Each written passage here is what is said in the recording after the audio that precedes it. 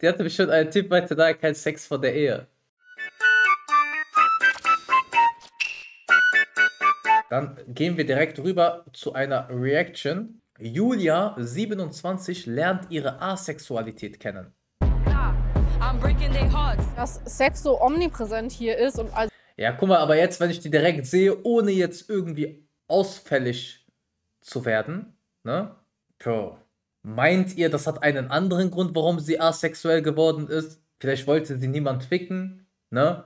Auf gut Deutsch gesagt. Also, das ist jetzt kein Wortschatz, den ich an den Tag lege, ne? Ich würde sagen, keiner wollte mit ihr den Beischlaf vollziehen. Aus religiösen Gründen. Die hatte bestimmt einen Typ weiter da kein Sex vor der Ehe. Also nicht nur hier, aber es ist sehr sinnbildlich hier, würde ich sagen, führt halt schnell dazu, dass ich mich total falsch fühle, weil ich mich gar nicht damit irgendwie identifizieren kann. Das gehört irgendwie nicht zu mir. Ich habe nie das Ziel gehabt, oh, ich muss jetzt meine Jungfräulichkeit verlieren, ich muss das erste Mal Sex haben. So, das war das war für mich gar kein Thema. Und ich glaube, dass das normalerweise in der Jugend ein sehr großes Thema ist. Das sind so Punkte, wo ich merke, oh, da war tatsächlich bei mir irgendwie was ganz anderes. Das führt schnell dazu, dass ich mich frage, was falsch mit mir ist, weil ich mit diesem Teil der Gesellschaft irgendwie so gar nichts gemeinsam habe. läuft durch den Kiez und fühlt sich jetzt irgendwie äh, diskriminiert oder was will die uns sagen? Aber jetzt mal ganz ehrlich, ich glaube, Asexualität ist eine Krankheit, ne? Jetzt kann nicht wie jemand kommen und sagen, ey, wie kannst du sowas sagen? Ich will keinen Sex, Ausrufezeichen. Das hört sich so an, als äh, hätte sie jemand dazu zwingen wollen oder drängen wollen, ne? Irgendein Flüchtling aus Afghanistan äh, auf dem Hamburger Kiez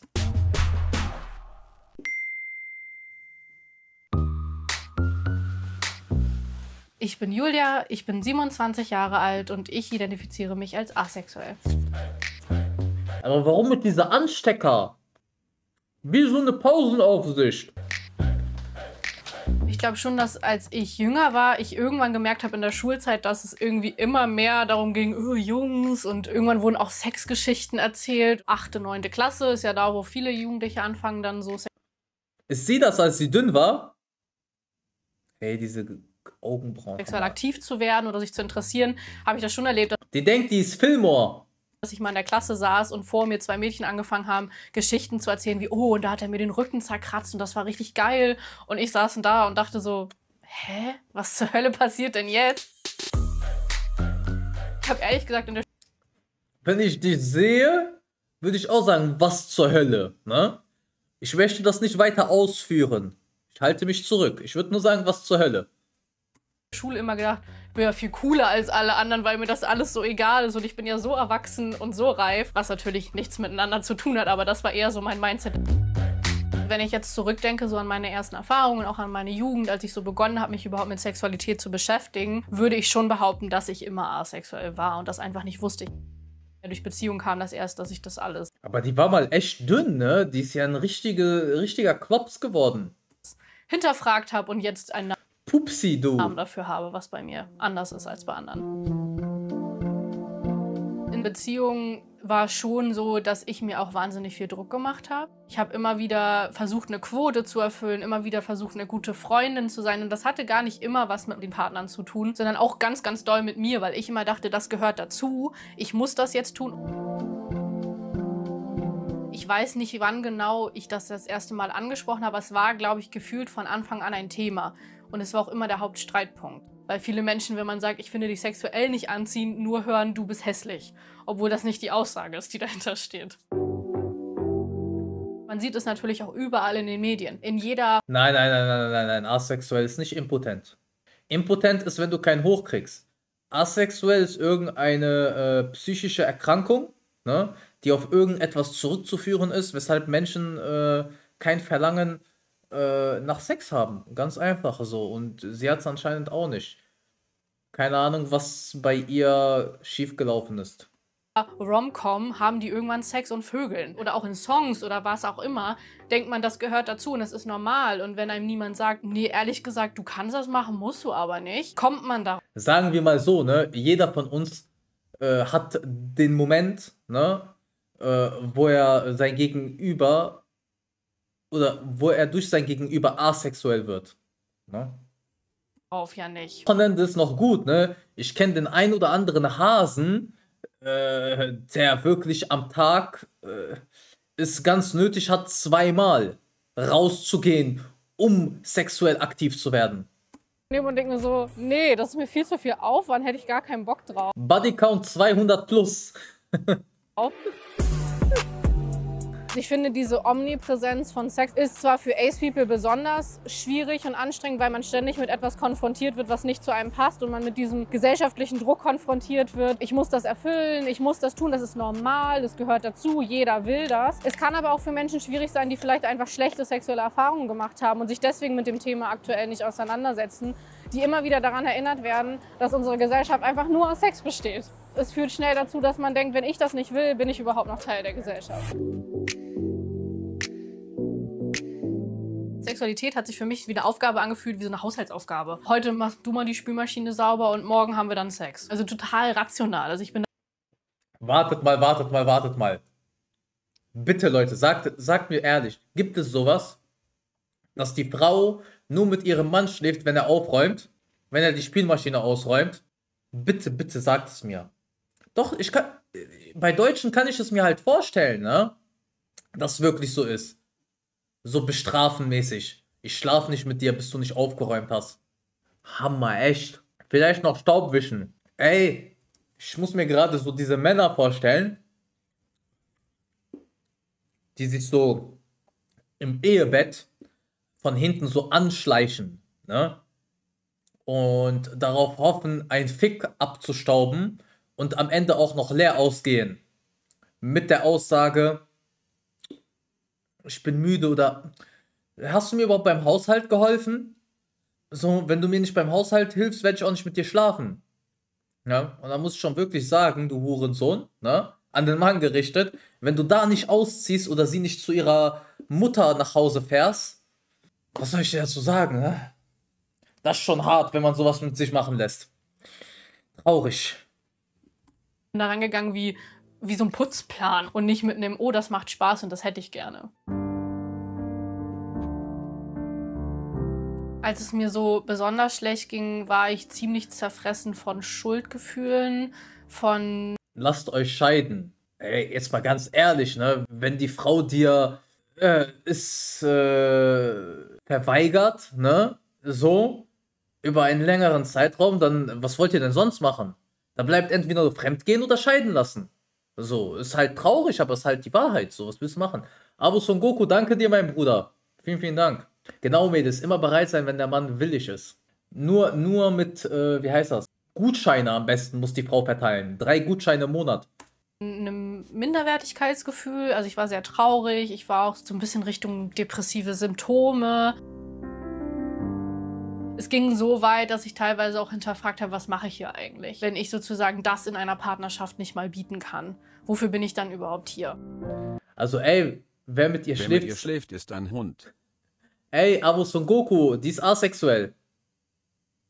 Und bist du nicht willig, dann brauche ich Gewalt. Ey, das Problem ist, ich weiß nicht, aber ich denke, ein Mann würde irgendwann doch gar keinen mehr hochkriegen bei einer Frau, die dir den Beischlaf verweigert. Du würdest dir doch irgendwann so Upturn kriegen, so richtig so, ah, ich, ah, du hast nicht die Spielmaschine ausgeräumt und so. Ekelhaft. Bäh. Nachdem die Phase war, wo es mir so sehr schlecht ging, habe ich immer mehr versucht herauszufinden, was ist da mit mir, was ist da los. Ich weiß gar nicht mehr, wie genau ich darauf gekommen bin, aber ich bin irgendwie über den Begriff asexuell gestolpert und habe halt die Definition gelesen, dass es was mit Sex Gibt es auch Männer, die verweigern oder Frauen damit bestrafen, wenn sie nicht gekocht hat? Hm, ich überlege gerade. Boah, bestimmt. sexueller Anziehung zu tun hat und habe dann sofort gedacht, oh, das, das bin ich. Ich bin nicht kaputt. Es gibt andere, denen geht es einfach absolut genauso. Also ich habe mich so richtig empowered gefühlt. Du wirst immer Zugehörigkeit finden. Wenn du jetzt zum Beispiel auf Inzest stehst und dann auf ein Forum für Inzest gehst, wirst du auch eine Gruppe von Menschen finden, die es ganz normal finden, äh, mit ihrem Bruder zu schlafen oder mit ihrer Schwester. Und dann wirst du auch eine Zugehörigkeit haben. Ne? Es, die- diese Aussagen immer. Ich habe auch andere Menschen gefunden, die so sind wie ich. Ja, es gibt immer andere Menschen. Wenn du in den Knast gehst, wo Leute wegen Mord sitzen und du auch wegen Mord in den Knast kommst, dann wirst du auch Menschen finden, die so sind wie du und die das einfach relativieren und sagen, ja, eigentlich normal. Ne, musste halt sein mit dem Mord. Junge, Junge, Junge. Ich fick doch die Zugehörigkeit dieser Gesellschaft. Das war eine sehr heilende Erfahrung. Ich habe mich richtig gefreut und habe auch so ein neues Selbstbewusstsein entwickelt. Es gab bestimmt auch Momente, wo ich geweint habe, weil ich einfach die Erleichterung gespürt habe von, da fällt mir so zentnerschwere Steine von den Schultern, die mir immer das Gefühl gaben, ich bin schuld. Und dann hatte ich immer mehr das Gefühl so, ich bin nicht schuld, ich bin voll okay, ich bin halt queer, ich bin halt anders. Hä, aber was hat, es hat queer was damit zu tun? Ah, weil LGBTQIA+, das A am Ende, das ist, glaube ich, für Asexualität. Deshalb, das wurde neu aufgenommen. Und deshalb ist sie queer.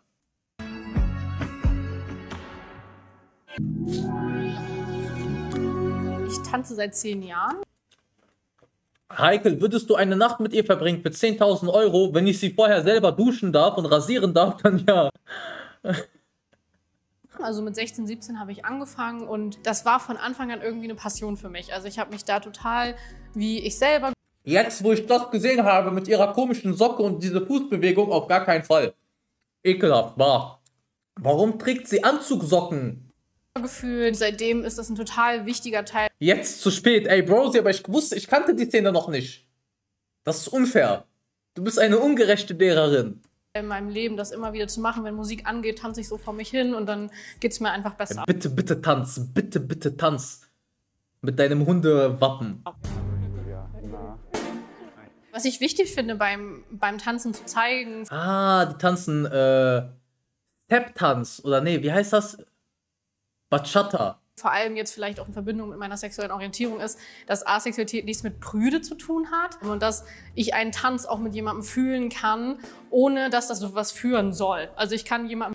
Ich weiß nicht, wie ihre Füße aussehen. Es geht um die Fußbewegung. Die hat mich sehr getriggert. Was war das? So, so, so streichen, so auf elegant altern, so anzugesocken mit, dieses, mit diesem Aussehen. Blicke zu werfen oder jemanden anfassen ohne dass ich jetzt gerade will, dass sich daraus irgendetwas entwickelt. Like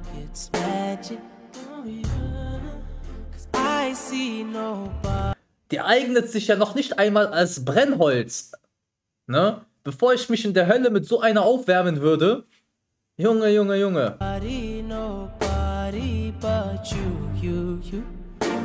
I'm never confused. Die ist Tanzen kann schon eine erotische Komponente Diese Welt ist so grausam. Bups, bups, bups, bups, bups, bups, bups, bups, bups, bups, bups, bups, die hat aber Bups. Ey, aber wirklich, ne? Normalerweise sagt man ja immer, äh, Titten bei einer dicken ist wie Sixpack bei einem dünnen, ne? Aber selbst das konnte sie noch nicht einmal äh, erfüllen haben. Das ist dann aber halt, wenn man sowieso mit der Person halt irgendwie vibet. Ich mache einfach Tanzen einfach, weil ich Bock habe, mich zu bewegen, weil ich Bock habe, Sport zu machen und so weiter. Und wenn ich eine Frau neu kennenlerne, die ich mhm. ne, nicht kenne, so, dann äh, steht das vielleicht auch schon irgendwo im Raum. Hey, ich finde die Person interessant, äh, möchte ich vielleicht mehr kennenlernen. Gibt auch solches und solches Tanzen, ne? Ja. Gibt Tanzen und dann gibt es Leute, wo man denkt, nehmt euch ein Zimmer. Aber das kann halt auch Show sein. Also, ne, also es gibt ja auch einfach Tanzpartner. Machen wir ja auch. Also ne, wir werfen uns auch Blöcke möglicherweise zu, wo andere denken können, oh, was denn da los? Oder teils fasst mich auch an und so. Und dann könnten andere auch denken, irgendwas läuft da, aber ist halt nicht so. Wir fühlen einfach den Tanz.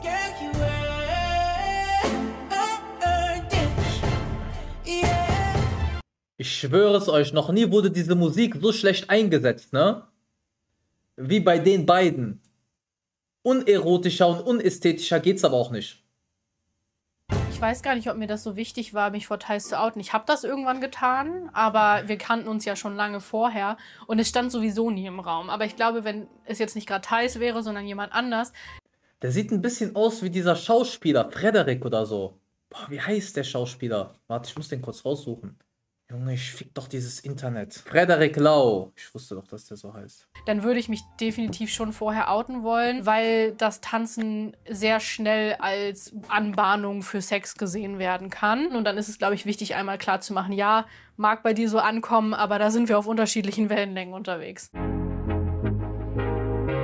Coming Out ist ja noch nicht so wahnsinnig lang her, deswegen bin ich Aber warte mal, wenn sie asexuell, asexuell ist, ne, dann gibt's auch keine, dann gibt's auch keine Selbstbefriedigung, ne? Noch ganz, man nennt es immer Baby Ace, also ich bin noch ganz frisch in der Community drin. Der Austausch mit anderen asexuellen Menschen macht erstens total viel Spaß, sich manchmal auch einfach in Anführungsstrichen ein bisschen lustig zu machen über die allonormative Welt. Also Allo ist das Gegenteil von asexuell. Aber es hilft natürlich auch, wenn. Ah, allonormativ was?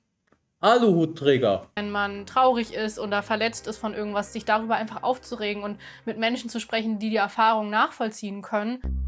Wir treffen jetzt zwei Personen aus meiner Community, aus der Ace-Community, die ich vorher noch nie gesehen habe. Wir haben uns bisher nur online gesehen. Ich glaube, es ist jetzt ganz cool, sich mal mit Leuten auszutauschen, die die gleiche Erfahrung gemacht haben, wow. wie ich gemacht habe, mal vor allem so im Real Life. Bin total gespannt, die kennenzulernen.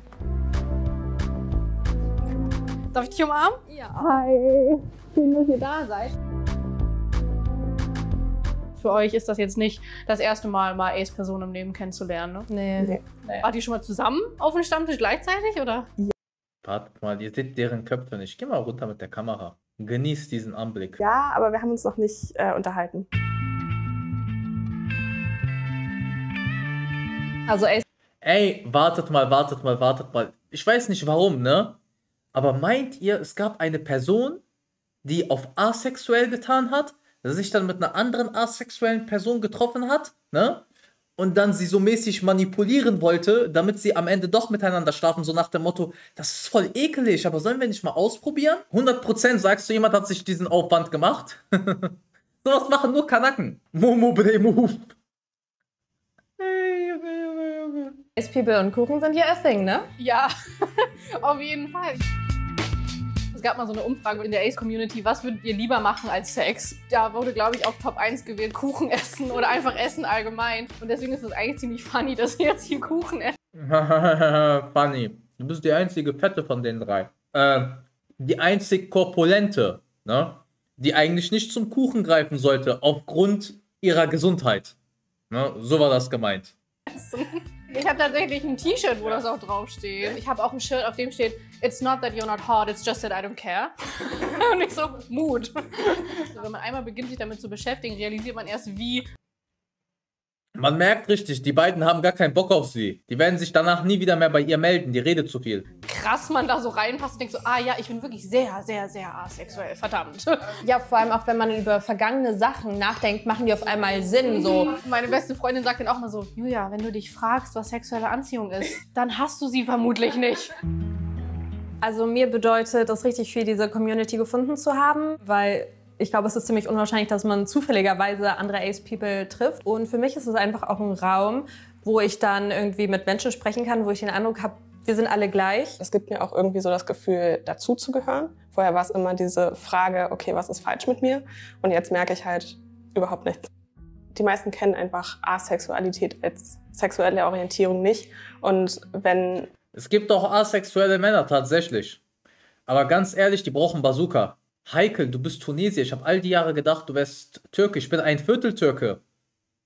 Sie mir das ich habe osmanische Vorfahren. Das dann absprechen, ist es für mich schon so ein Zeichen, sie akzeptieren mich nicht so, wie ich bin. Wir sind alle Mitte 20 und werden uns genug damit beschäftigt haben, um zu wissen, ähm, ob wir asexuell sind oder nicht. Und wenn sich dann jemand mir gegenüber äußert. Ey, aber in Hamburg leben echt nur komische Menschen, ne? Ist euch das mal aufgefallen? Es halt, aber du musst erstmal den richtigen finden oder keine Ahnung, irgendwelche anderen komischen Argumente äh, hervorbringen, dann denke ich mir, okay, du hast den Punkt nicht verstanden. Du hast mich nicht verstanden.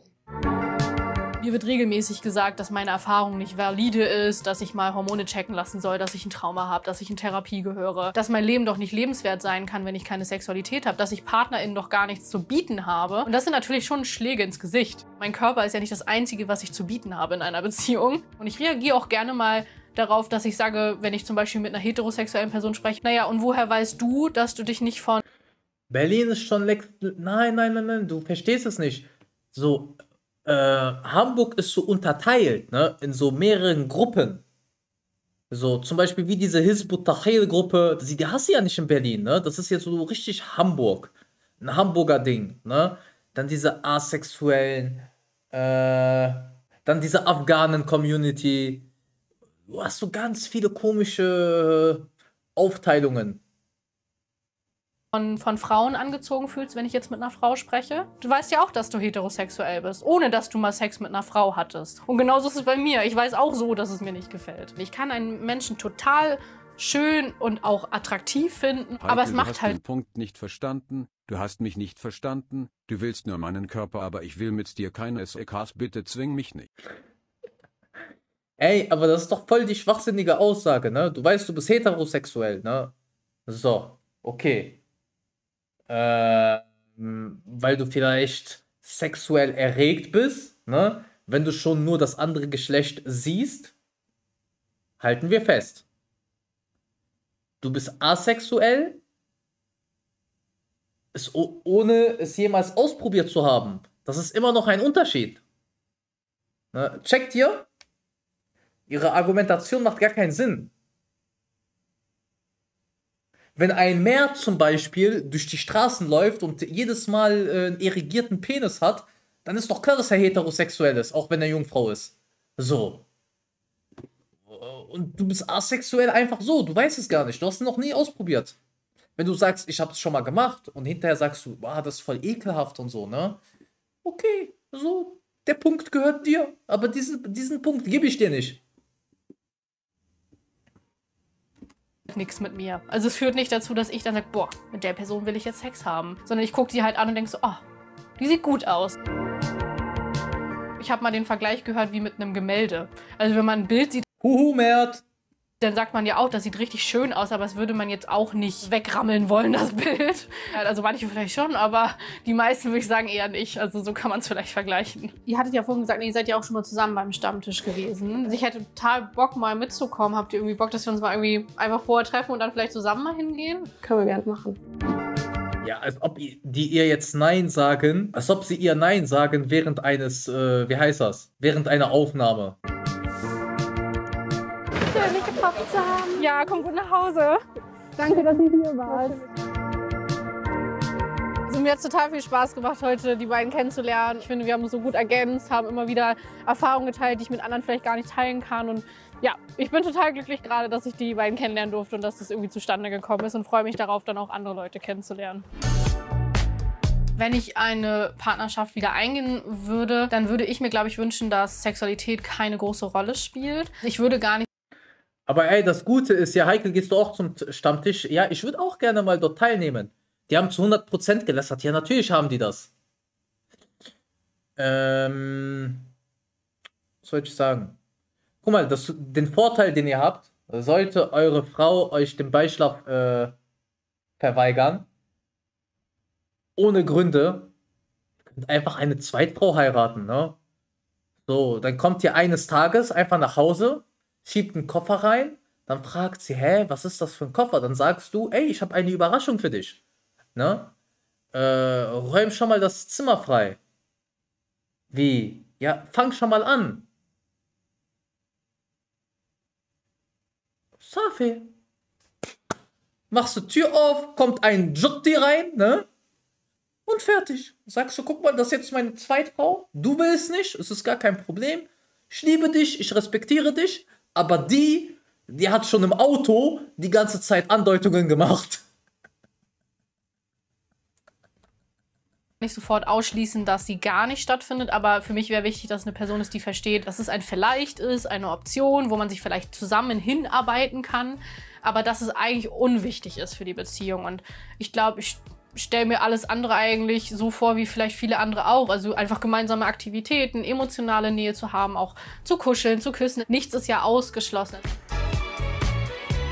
Abgesehen von mir wünsche ich mir auch für die Zukunft, dass das Thema einfach viel bekannter wird und dass es keinen Menschen mehr in der Zukunft geben muss, der sich zu Dingen zwingt, die man nicht machen möchte, sondern dass einfach alle Menschen verstehen, kein Sex zu wollen ist eine Option und sich nicht angezogen zu fühlen auf der Ebene ist auch eine völlig normale Option. Es ist einfach nur eine Varianz der Norm, dass somit kein Mensch mehr rumlaufen muss und denken muss, ich bin falsch.